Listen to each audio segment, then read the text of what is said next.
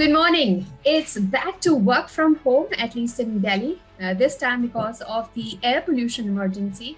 Thanks to the COVID lockdown experiences, uh, this has not really come as a shock. It's being seen largely as a temporary disruption for all those who had started their back to office routines.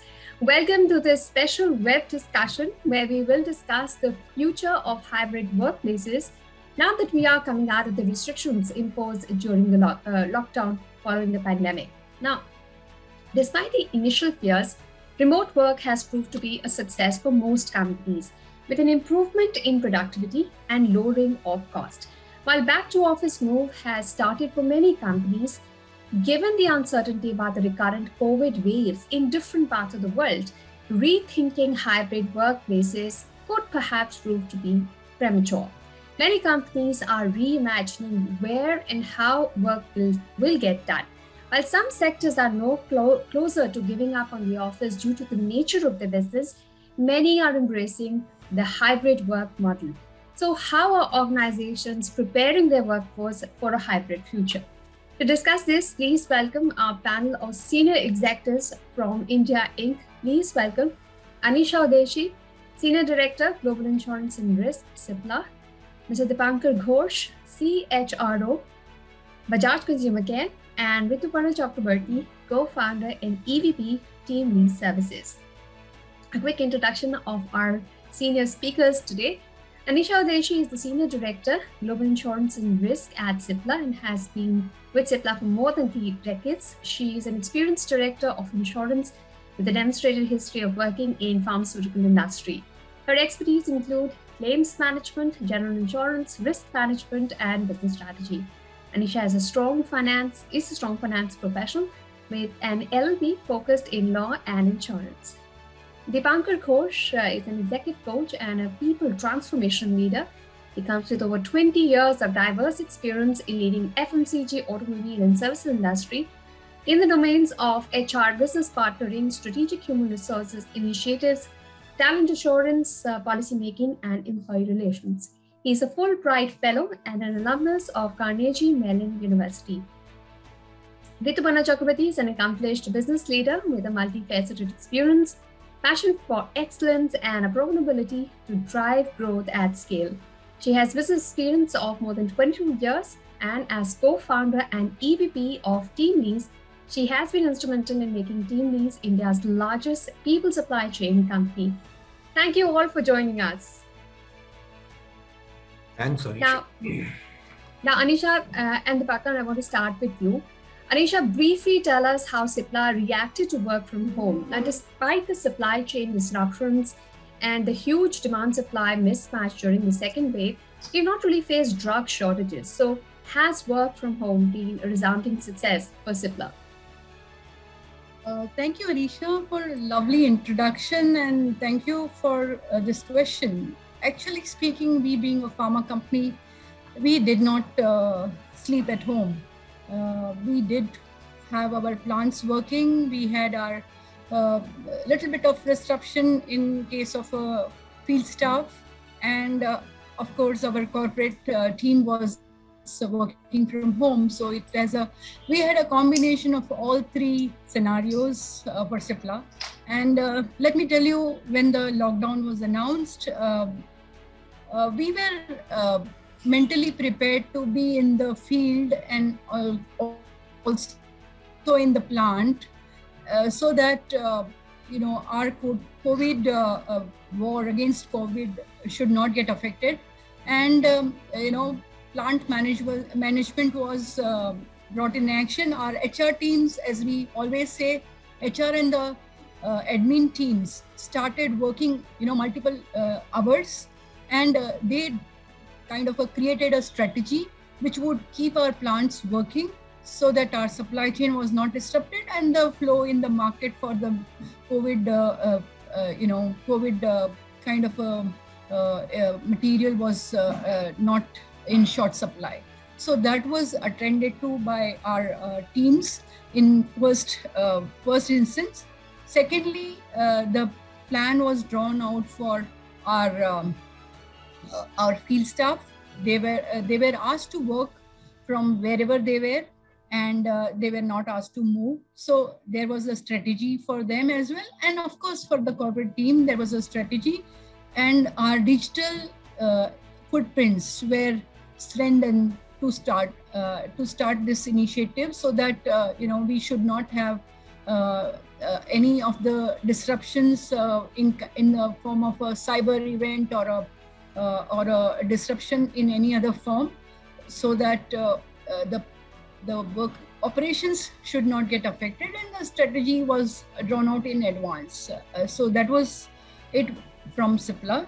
And um, it worked well for us and again uh, over a period of time uh, there was a this was a fluid strategy so that uh, as and when there was a requirement there was amendment were being done as well as there was uh, updation of the strategy was taken up all right anisha uh, Dipankar, same question to you. Um, how did Bajaj Consumer uh, deal with the outages of uh, the lockdown?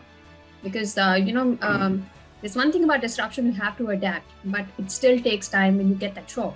So, how did it work for you? Yeah, thanks, thanks, Anisha, and thanks for the introduction. Uh, I think our experience has been very different from what um, uh, my, my, my Cipla colleague told, because we are not into drug or essential supply manufacturing. In fact, when the uh, pandemic had hit, the first question was, do we at all fall into essential category? Because we are into personal care product and will a hair hair shampoo or a hair oil or a skin cream at all is essential. Over a period of time, we did realize actually that skincare is as much essential as something else that we thought, but that's a different perspective. Uh, uh, April was a washout. The plants were closed, supply chain was severely disrupted, and in the morning, the first thing that you do is, what do you do? Uh, including I knew we were actually doing a scenario analysis. I remember last week of March, we were doing a scenario analysis of zero revenue on Q1 that was kind of doomsday that we were probably preparing for. And I think we quickly turned back by mid of April, where we realized something that's going to happen beyond our control and something that we have to take charge of. Some of the adjustment that we did straight away is first we realized the vulnerability of our stakeholders, both internal employees and external our channel partners. So first, let's create a safety net a safety net around no layoff announcement proactively that we did as a group at the beginning of April, uh, creating a wellness and, med- and, and a health um, uh, availability wherever possible, including proactive availability of, of, of certain healthcare benefits. We actually did something very interesting. As an FMCG company, we reach out to 5 lakh retail outlet all across the company, all across the country. Those small mom and pop shops where you go and buy your stuff. And, and they were the most vulnerable and they were our channel partners for last 50 years. And their shops were shut or they were only open for limited hours. We decided to actually touch base with those 5 lakh outlets on a weekly basis. Not talking about business but talking about their well-being their family what's happening in their surrounding. And many of them probably got a call from the bajaj company in mumbai for the first time there were language barriers there were timing barriers there were people who couldn't understand who the hell is calling. But over a period of time we realized that's a huge connect we created. And suddenly the organizational internally who really were heavy around what to do, we could clearly see we have built them through a common purpose, a common purpose of striving in very difficult time rather than only surviving. I think that was a big, a big change. Mm-hmm. because you see pandemic took away the three most important levers of human resource which is time talent and energy. People were complaining about time and time management. The energy was sapping because being closeted at home, working over Zoom, working over uh, phone calls, working late hours, unearthly hours, working on things which may not be so exciting at that point of time really had the energy down put. And talent talent as you know there would be few who would always have those those flight mentality so the all the levers that you typically work upon were very challenged. And we started taking slew of actions some of them which i just told. And the mm-hmm. other thing that we also pulled up was the communication bit. We realized that mm. Whatever you do you have to reinforce that again and again. And and listening to people communication listening and probably giving the right impetus where that is required. I think those were the adjustment.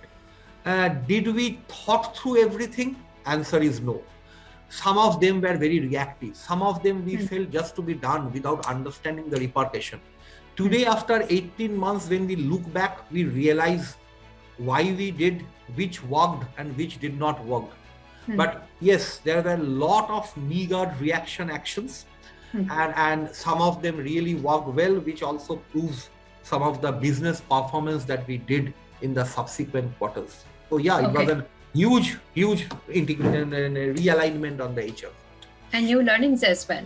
Uh, Rituparna, uh, you know, uh, we've got uh, two um, perspectives from, uh, you know, an industry which was an essential one, which wasn't. Now, very briefly, uh, you have an industry-wide perspective. While, you know, some people adapted, adapted to digital quickly and, you know, um, performed better, uh, there were some that had no choice, say the travel industry you would be digital, but you still wouldn't have any any way to go. So, what were the learnings in your mind through this period? Oh, a lot of fun. I mean, a lot of learnings. A bundle of learnings for corporate India, for um, in, in uh, corporate India. I think organizations in India and globally. Uh, I think learnings around uh, how do you approach employee engagement, how, learnings around how do you adapt digitalizations, learning around um, what kind of investment one should be making around learning and development. So I think very hmm. wide range of learnings we have gone through. Uh, some of them we probably were postponing three to five years down the line, but suddenly they're they were staring at our face and we had to act on them right now. Challenges that certain industries faced, I don't think.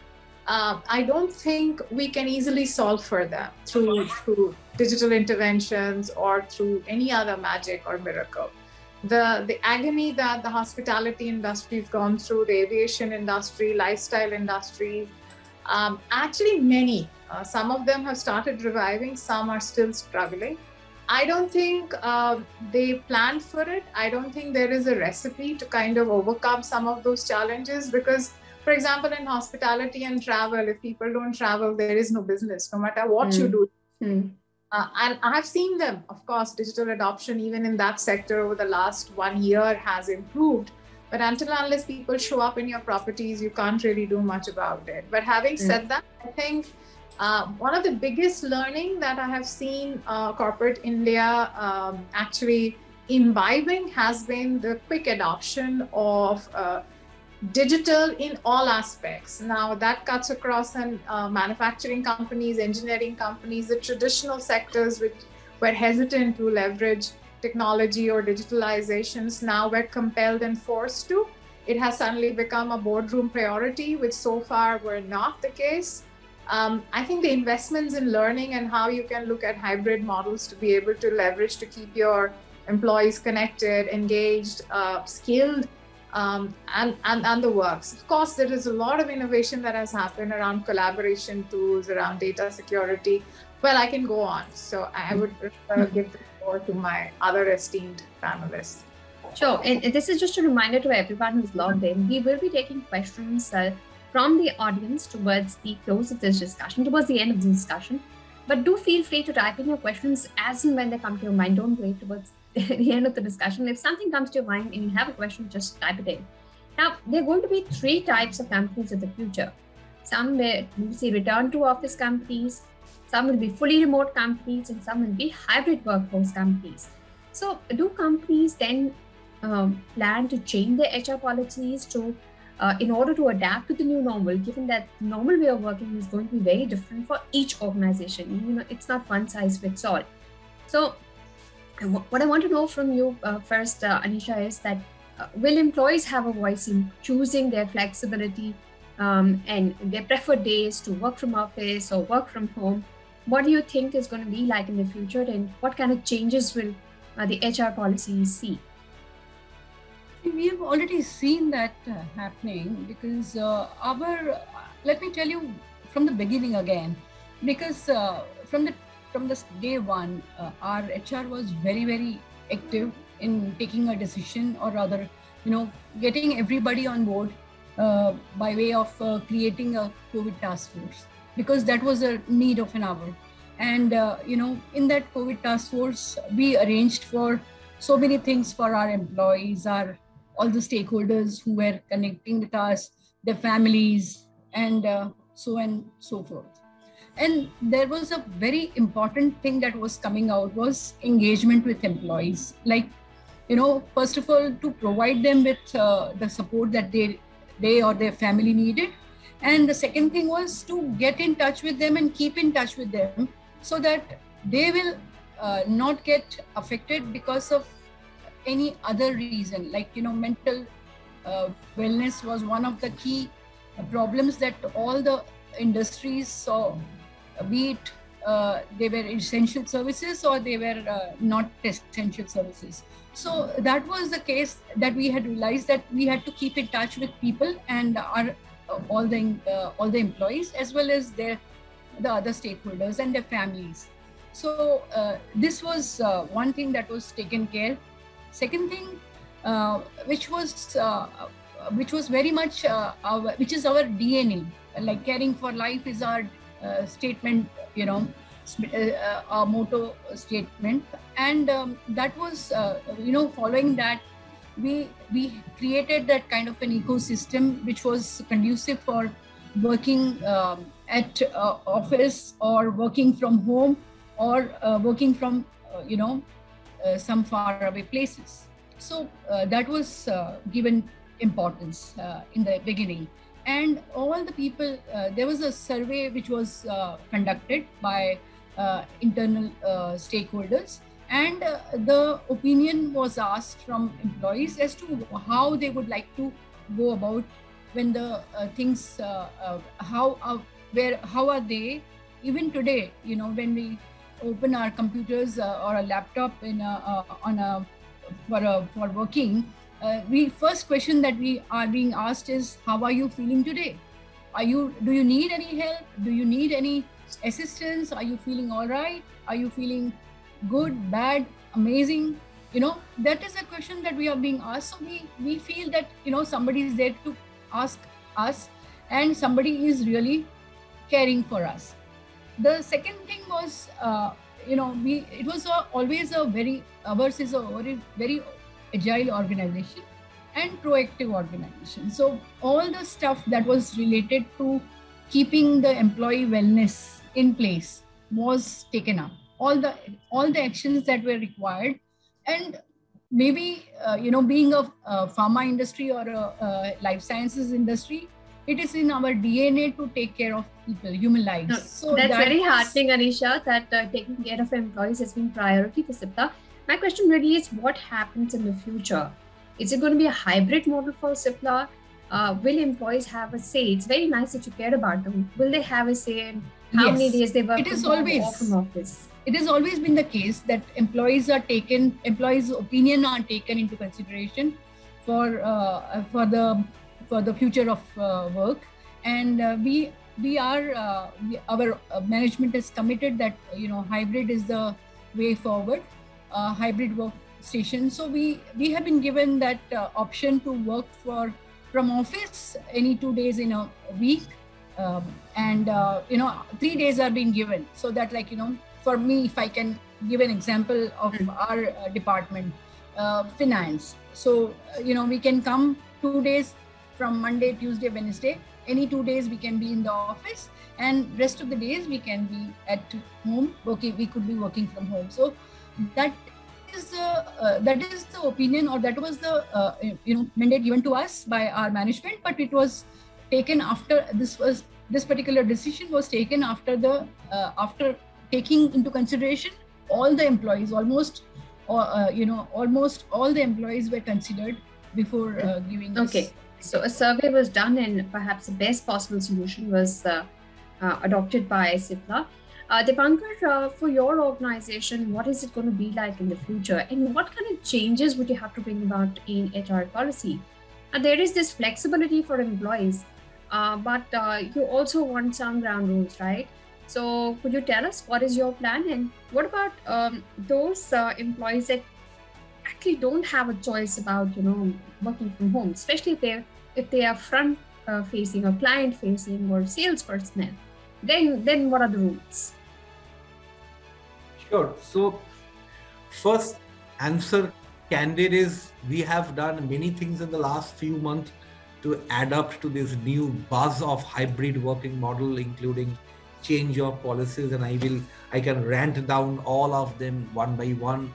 But if you really ask me what the future hold, my answer is I don't know. Uh, because we would be very smart in going for a volte-face the moment situation is different. It's now in to talk about hybrid. Is it going to stand the test of time? Very frankly, I don't know because uh, we have seen similar kind of change of stand of some of the largest IT companies in India who last year said we are we are going completely work from home and now calling back and Rituparna is already laughing. So that's what we we trained business professionals are. So uh, yeah, so we have right now what we have coined a term. We are saying you need to come less frequently at a re- reduced frequency, but at a defined frequency, which means you can come three days a week. You can choose your day. Uh, you have flexi work. You have work from home. You have a on-call medical counselor. We are actually in Mumbai providing people ex gratia to commute through taxi or auto rickshaw so that you don't need to catch a train. Uh, at least at a particular till up to a particular level we are providing that to all employees in in mumbai city uh, we have actually taken additional office space because our sitting capacity is now 50% in a normal office we have done all of that have we done anything for the sales and the plant on this fact of the matter is no. What we have actually done in, in lieu is probably we have increased health coverage. We have provided much more hygiene kits. We have provided with much more holidays. But have we told them that you don't need to go to the to the distributor point to meet the distributor? Answer is no. Can I plant people uh, will not come to plant for production six days a week, three shifts a day?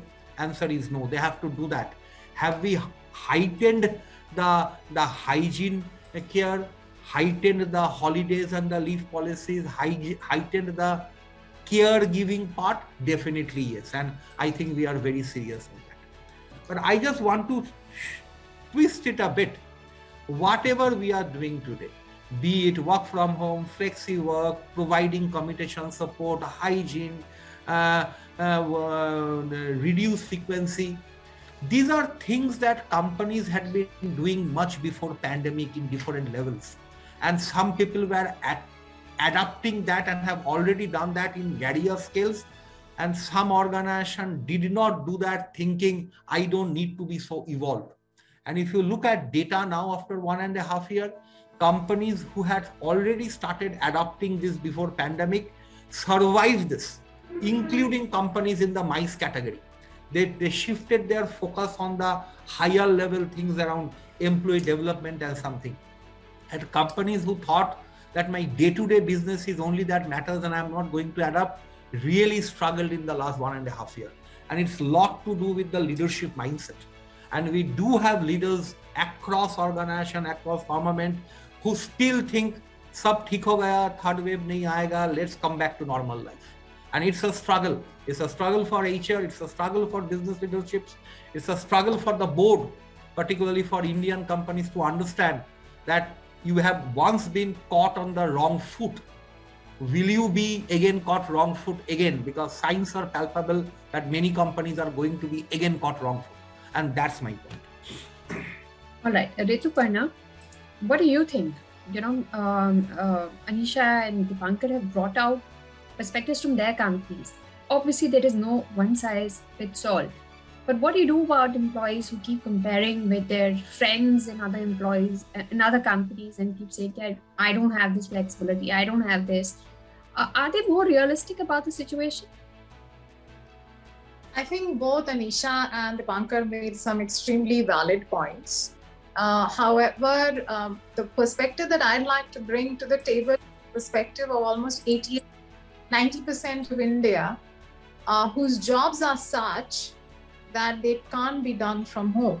So that's essentially is the reality, and they became the most vulnerable during the pandemic because they are unable to do their job on ground uh, and you if if you make them sit at home it is an unviable proposition for employers and that made them extremely vulnerable and that's the reality even today so i think while we talk uh, and we, we must talk about developing abilities of remote work we must not forget that a very um, slim minority in india today can even think and have the luxury of talking about remote work, hybrid work.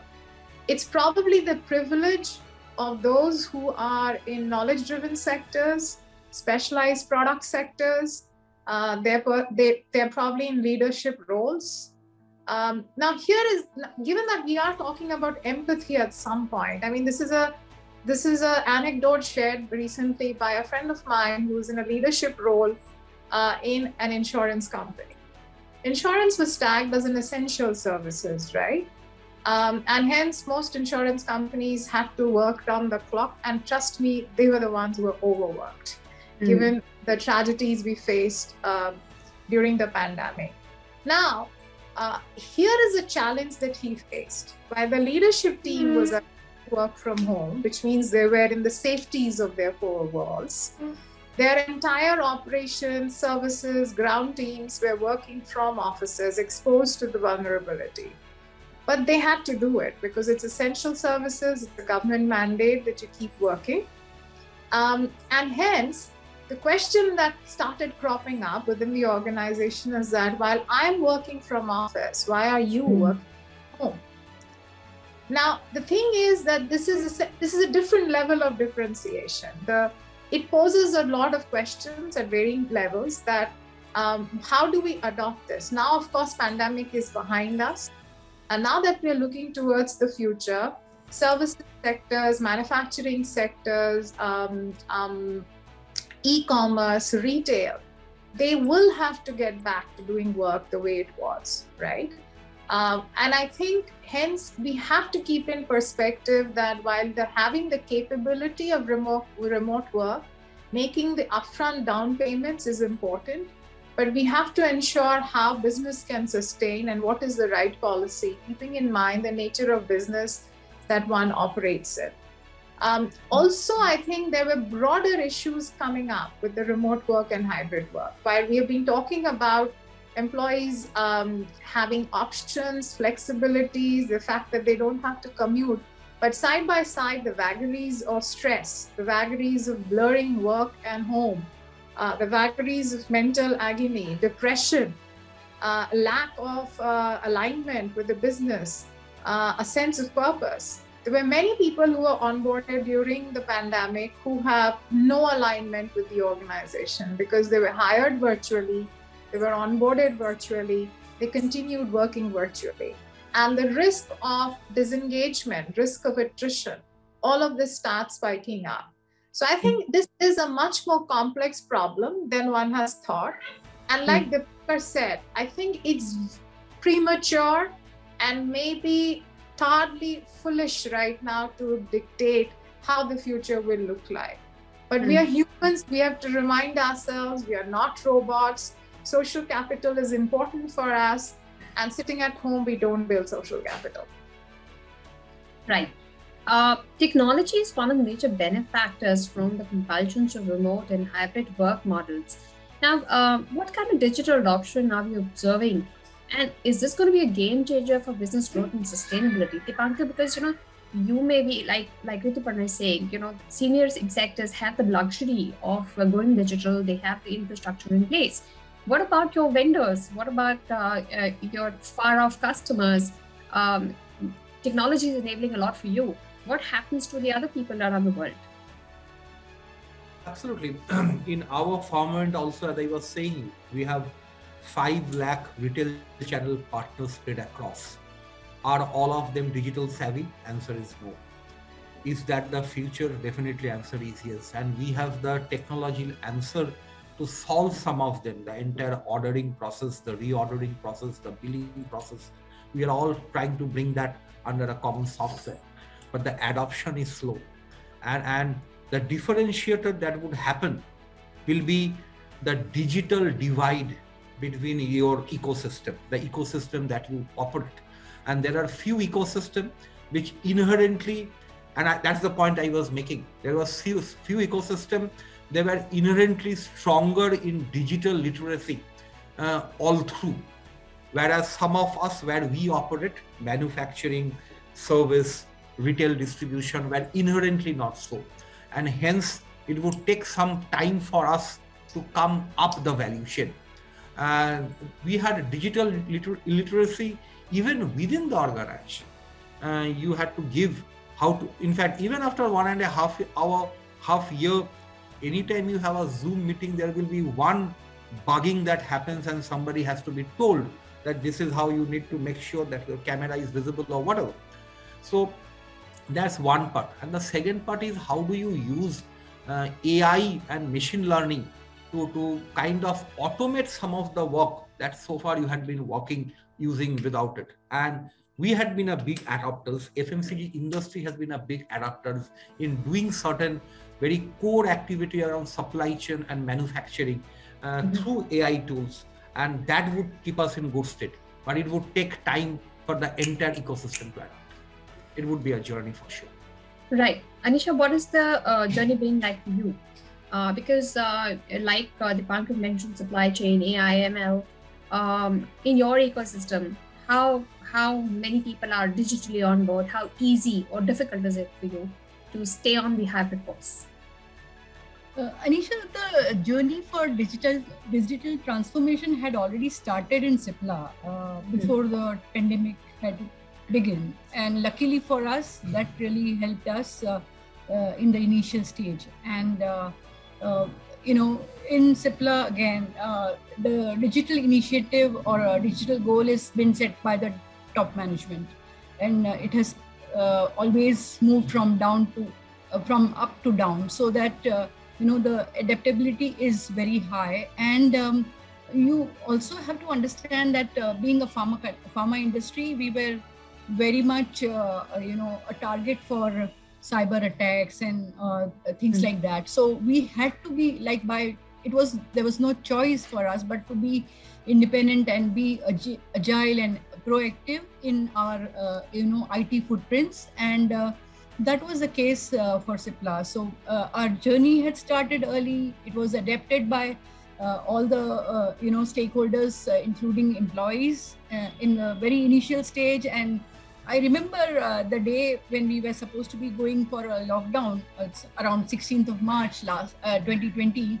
Uh, on that day, uh, you know, it was uh, all the people who were having a laptop were, uh, you know, were given a mandate to get their laptop installed with a Teams, you know, Teams um, application so uh, that uh, you know you can be in touch with your teammates you can be in touch with all the uh, other uh, you know other stakeholders and other uh, colleagues uh, on teams on a regular basis. And that was and believe me teams was used not only for our business purpose but it was used for even engagement purpose which is why i think you know our journey in it space was a smooth one and uh, it was a very important journey that we had uh, alongside the IT, uh, you know, digital improvements. So most of the uh, digital improvisation happened uh, in this last two years, and the journey so far has been very, very important and uh, very.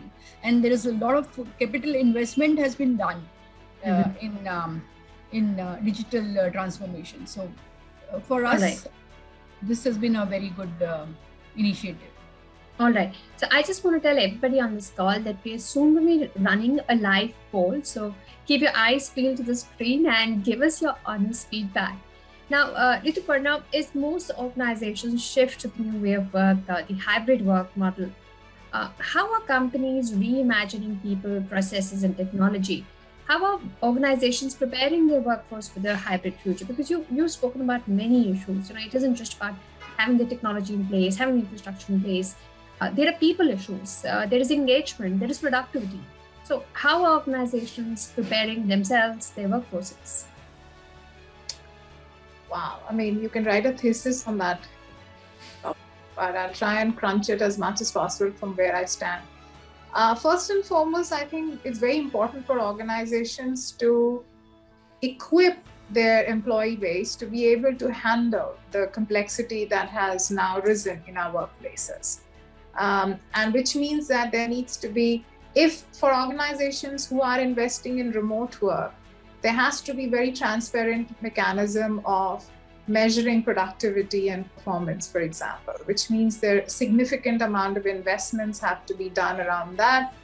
Uh, side by side organizations have to look at uh, what are the ways and means that you can improve productivity through automation digitalization you know often i'm asked this question that when is it that india inc will start hiring uh, at pre-pandemic level the answer to that is never because uh, even when COVID is behind us, organizations have unlocked and witnessed ways and means through which they have been able to improve productivity, which they've never ever seen before. And hence, I don't think they're going to hire at the same level across job roles. However, new job roles will create it, and that's an opportunity from the employment market. So, productivity and um, um, and improving internal productivity of organization is one area.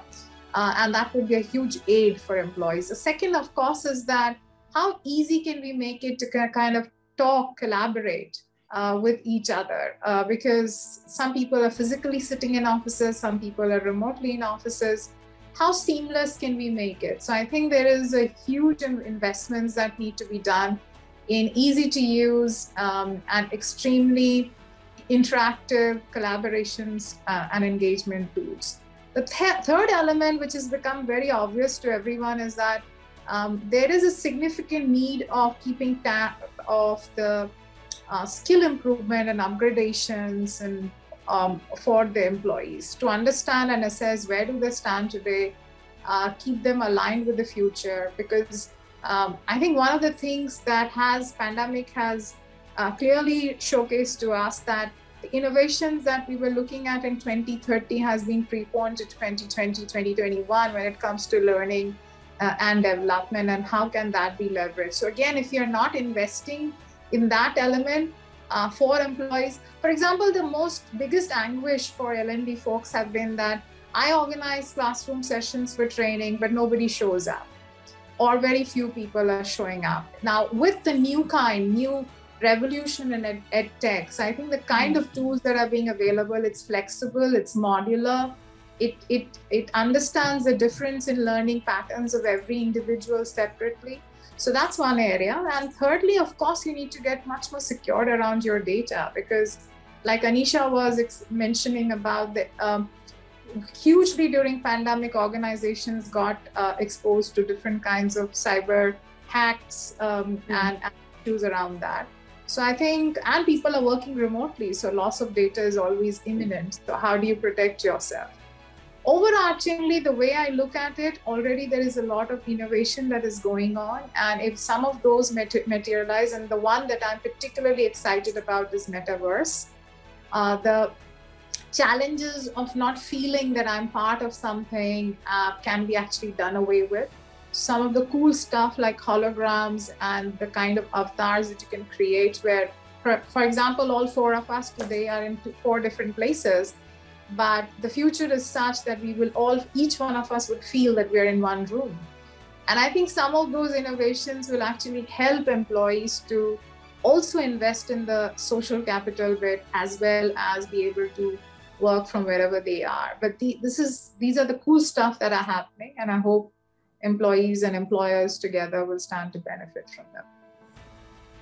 All right, so um, I, am going to come to the other two speakers about how they're prepping as well. But let's quickly run the poll uh, because we have a lot of people on this call, and let's just uh, quickly check uh, what is uh, their feel of uh, the model which is going to be perhaps most productive uh, for their companies. So this is the poll: which model is the more is more productive for you? The choices are 100% work from office, 100% work from home, three days work from office, two days work from home, two days work from office, three days work from home, or any other. So uh, okay, panelists don't have a choice to uh, uh, put in their vote, but everybody else, please put in your vote so that we can um, get a pulse of what everybody thinks on what's a productive model uh, for um, you know different companies in uh, uh, in India. They are, they are without conditions, right? all conditions do apply, but those aren't mentioned. This is just a feel of what uh, people think works best for their company. So uh, please do put in your um, your feedback, uh, pick your choice uh, so that uh, uh, we have this poll where we come to know what works best. So please do put in your um, your your feedback and quickly, Dipankar, how you preparing for your workforce for what lies ahead. Rituparna has spoken about very important things uh, like productivity, like skill development, uh, and of course um, being connected. So, what are you doing to be uh, get your workforce ready for tomorrow? Yeah. So I would I would start with. I think the first thing that we are trying to adopt and that we have realized is location or geographical proximity for talent in the next two, three years would be very important. The kind of world we were setting into in 2019 and we stand in 2021, people would have more proximity towards being closer to the family. And that's one aspect that we are really focusing on when we are switching talent, hiring talent, buying or making. Second is the need for for succession planning and not in all level you do succession planning but need to create buffers because world would be vulnerable and hence the talent management piece would go for a for a significant change from the way that we have we have considered so far so overlapping organizational designs is something orbit structure instead of pyramid structure would be something that we are looking at where you play as a team and not play clearly around an hierarchy and a pyramid. That would be a very important thing. Mm, and, and hence, the skill development has to be always around your current skill, your potential roles, and your periphery roles. So, those are the three buckets of periphery roles, current skills, and potential roles. That's where skill development will happen where managers would probably identify or or, or supervisors would identify what are those essential peripheral and um, buffer skills that he need to imbibe in addition to the current role that he that he needs. And that would be a paradigm shift in the way capability development is being looked and the and the last would be obviously communicating will remain a, a key i mm-hmm. think the last two years has also made human resource team be not so faceted about process orientation and creating platforms, but being closer to people and listening more and, and mm-hmm. reacting to listening. I think that's the third edifice that we are already working on. All right, let's quickly take you through the uh, results of the poll. Uh, so majority feels that three days of work uh, from office and two days work from home is uh, the most productive option for them and let's uh, quickly also take you through a similar poll that we conducted uh, on LinkedIn uh, just about three weeks back. Uh, similar alignment, but I think there uh, uh, people were of the view that working three days from home is the most productive way to go forward. If you can just have a look at the LinkedIn poll and what that threw up as well. yes, that was three days work from home and two days in office was perhaps the most productive. So we, we kind of close, and I think uh, everybody, uh, each company will figure out something that works best for them. Uh, but it is uh, what most companies are looking at is a mix of working from home and uh, working from office. Now, uh, Anisha, um, you know, um, Dipankar has spoken about uh, learning and development and uh, you know the importance of communication amongst employees. Now, how will employee productivity be measured in these hybrid uh, work models? Will organizations ensure smooth employee engagement and employee productivity in a remote setting uh, without hampering collaboration and coordination efficiency?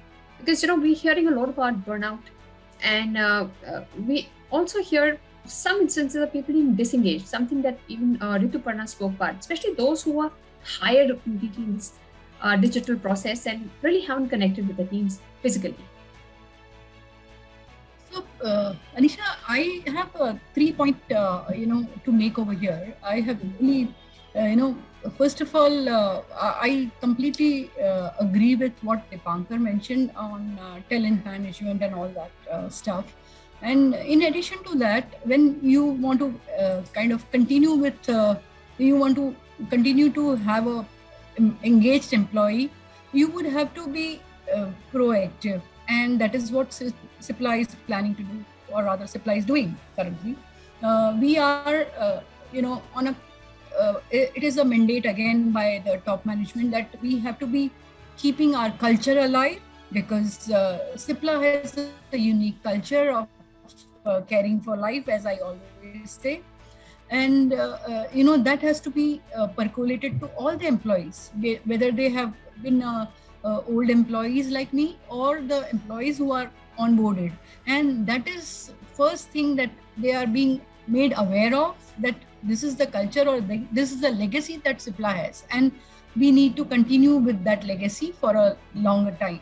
And that is the first point that our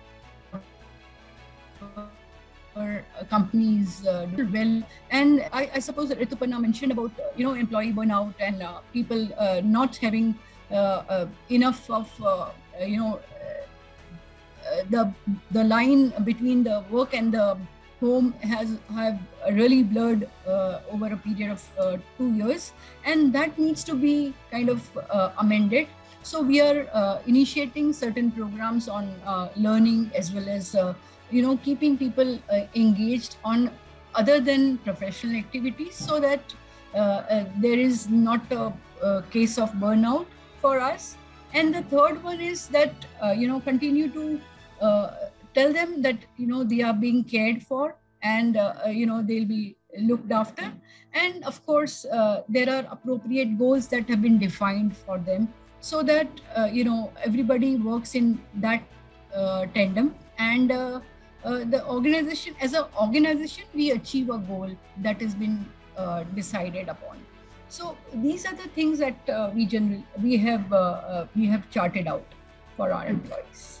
So uh, Rituparna, uh, earlier in earlier on you said that you know companies have seen the productivity is improved but uh, when I you know uh, compare notes with my friends, they're like, "We're working all the time. You know, I, I'm at home. I don't have time with my kids because I'm working all the time." So um, measuring productivity, setting targets uh, uh, in this hybrid hybrid work uh, environment, does it cut both ways? How do you manage productivity and avoid burnout? Um, of, I mean, look, if you're sitting at home and working all through the day because of lockdown, because you can't go anywhere, eat out, uh, meet friends, uh, the net output will obviously improve. But the question is about sustainability of that. And i think it's uh, it's better to not prematurely celebrate that productivity improvement and see how much of that improvement can be sustained. When i say productivity improvement what i meant actually is that the, uh, the if a if a certain activity we're taking let's say 10 minutes to do i think there are different innovations around us which is trying to crunch that which means mm. it's probably going to take two minutes or three minutes to do the same thing. So, in a very simplistic manner, that's the improvement I'm talking about. So, um, I personally, I mean, given the conversation that you're currently having, I think uh, the goalpost on productivity or measuring is hasn't changed. Finally, it's about performance. It's not about effort. It's uh, you can even if you are working for 18 hours um, in front of your laptop in front at home but if it is not the corresponding output is not in accordance to the goals that have been set out it, it's of no use to be honest. So i guess the for organization, the measure of uh, productivity or measure of performance, that goalpost hasn't really changed. What has changed is that how you are now getting about executing uh, the expectations that are there from you from workplace. Mm-hmm. Um, yes, I think there are again there's a lot of innovations that are coming about in terms of being much more transparent in measuring that uh, productivity and in a way if i may if i may kind of stretch this conversation to a different angle um, i think because you're not able to supervise and see the performance of your employees if that matters i think the emergence of the gig workforce is on account of that the fact mm. that uh, in that organization um, um, if I may say so, have very little responsibility in terms of how you go about doing your job. You've been given a task. Are you executing it or not? And the organization is more than willing to kind of compensate it for you. So, mm. if we are already seeing some of these trends, it's essentially a indicator about how the world is transforming in terms of measuring performance and output. Uh, we're coming towards the close and we have a couple of questions coming. So, one last question to the panelists, uh, and uh, I'll request you to be brief. Uh, Dipankar, how will workplaces, uh, workplace real estate change as a consequence of this hybrid work model? Um, uh, will, will you not have large office spaces? Will it be more of co-working spaces? Um, how do you think this is going to work out, the, the workplace real estate? Oh, I think I think there would be a cascading effect. As I sit in Mumbai in the busiest business district, I can really see a lot of free offices. My office is in seventh floor, and two floors as I go up had been closed for the last one year. I'm seeing uh, clearly the commercial rates have gone down. There is a doomsday scenario. Two things would happen. Uh, if if we are really going for a three-day work work from home, particularly in the context of Mumbai, why do you then need to stay in the city? You can go out in the suburb uh, and drive all the way two days or three days a week, which is absolutely doable, which means the city would expand, which today is not possible. Uh, and that's a big change in real estate per se, and you would see see cities freeing up. Second is obviously this large glass edifies big buildings will go for a change. I think residential houses will become bigger. You would have rooms for everybody, whereas office will shrink and that's clearly a trend that's coming and people who are companies who have big, bought big offices complexes already are looking for changes around that happening in mumbai for sure which is the real estate hotbed. I see a lot of changes around that recalibration. WeWork i am not very sure because yeah, the, that's more for the gig and for the not so permanent one. But for established business house relooking at the real estate footprint is definitely on the anvil for sure. All right. Um, uh, Anisha, we received a question uh, from an anonymous attendee, and Rituparna also spoke about, you know, uh, the gig economy. So a large, the question is, a large number of jobs currently in the gig or temporary economy require no special skills or knowledge. Do you think that there will be more uh, skilled or specialized roles, but will also move to these kind of models, the gig models? Yes, I think I do agree uh, that it would uh, it would be on rise because uh, uh most of the uh, organization I would give a little different kind of an answer on this uh, because I feel every organization is on a reimagination mode. And mm. the boundary lines or the profile of work is changing. And that may require a different kind of a setup altogether or the skills. And uh, for those kind of uh, profiles you need a different kind of structure that would evolve and i don't think it has evolved as of now it is on rise and it would take some time before it we get a clear picture of uh, what is going to happen in that, that particular space so that is my limited uh, uh, understanding or my answer. It is going to be very limited uh, to that extent. So right. I'm not yet very sure of mm. what is going to happen because it is evolving, and I, mm. I think it would evolve for uh, better, and it could be it it could be evolving in a year's time or two years time. We don't know. All right. So another question coming in is uh, it's not a question actually, it's a statement from Gladstone Samuel. He's saying that holistic wellness will replace work-life balance over a period of time. It means designing work for well-being. Uh, he's also saying the uh, the VUCA environment is making organization focus on ethical renovation that creates and sustains the high performance work uh, culture at work. Now, Ritu, what do you feel about this? Because you know, uh, globally, uh, we are seeing this uh, big quit happening. People are, uh, uh, you know, giving up on their jobs, even though the in, in markets like the US, you know, their their employment insurance is running out, but they don't want to go back to work because they don't see the flexibility of the organization. So, how important is it to design your workplace for well-being? I have to keep reminding we live in India. Our reality India are very different from what's happening in UK and US. UK and mm. US, they have run huge debts and rolled out uh, personal subsidies for unemployment loss, uh, for em- employment loss. Um, and God knows what else. They're rich countries, they can afford to do all of that. But uh, and that's the reason some individuals in there these countries have gotten so used to that idea of these dole-outs that they don't want to go back. They prefer remaining unemployed than being employed. Um, but i don't think india can afford those elegance. India uh, is not a rich country. Um, i think we should remind ourselves large part of this country is still poor and the best possible way for us to look after the well being of individuals is to give them a job, a job of dignity.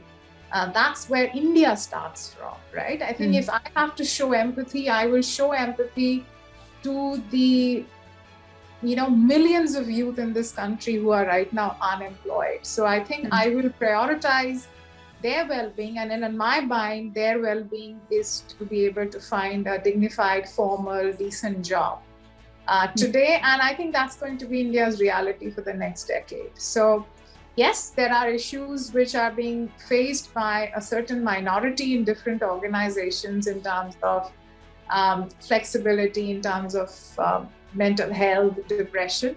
All of them are important, and I'm not undermining them. But for me, the agony of an individual who can't feed two meals to mm. their children or themselves uh, is is at, at, the moment taking priority. So India has to first solve the quantity problem hmm. before we pick up the quality problem. All right. Uh, one uh, another question that is coming from anonymous attendee is that uh, there is an increasing tendency for people to socialize and communicate via digital platform rather through real life uh, contact. This can easily lead to a sense of disconnect and isolation. How should companies respond to mitigate such challenges? Dipankar, would you like to take this? um, uh, so, 20 years back, when uh, laptops and computers came in office places, uh, we thought of office as a place for our digital hangout. I, I remember playing my first online rummy in a site called india.com on the day of Diwali in the evening uh, and, and you come to experience computers and laptops in the office. Two, a day to day when office IT and office infrastructure is actually lagging behind the kind of digital experience we get outside office. Our, our, office computer infrastructure can never recreate the experience of a Facebook or a Insta, right? So I think here expecting organizations to do something where socially we are becoming what we call as phubbing where you talk with lap, computer, mobile mobiles even when we are sitting with your family members. Uh, is something that for organizations would be very difficult to do. We will continue to have uh, offline programs offline seminars but i think that's a big digital difference that's happening with the with the generation and across ages um, that is something which I do not know for sure as of now how much organizations can really make a change if we don't as a society realize that we are probably becoming a more digital generation than a flesh and blood generation which in my mind is pretty alarming. Uh, anisha your last word on this uh, you know because we are saying that large offices perhaps will not happen but then where do employees meet? Will you have a space for this engagement or will you continue to engage digitally?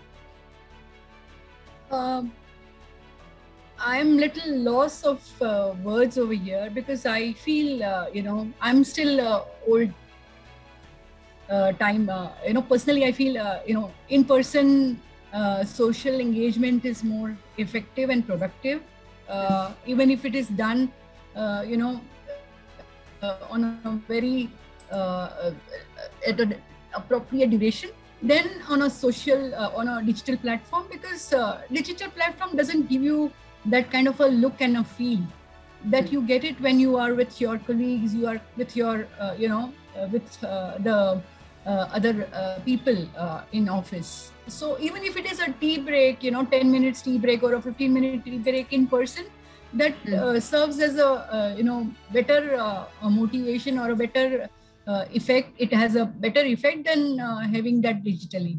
So uh, we we are uh, i think uh, all the organizations are also trying to do a, a, you know permutation combination of these two initiatives and maybe you know we'll get a better picture uh, going forward. But i, I still feel uh, traditional way of uh, in-person social engagement is better all right.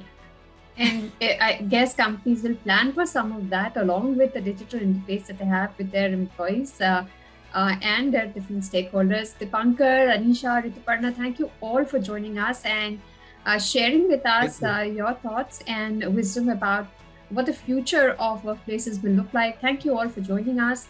Uh, pleasure uh, to have you with us.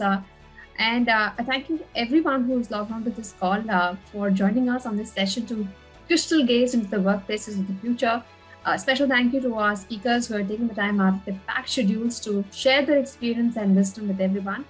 We shall be back with more brainstorming sessions on workplace trends for the future. You join us again. Till then, goodbye and stay safe. Thank you so much. Thank you, everyone.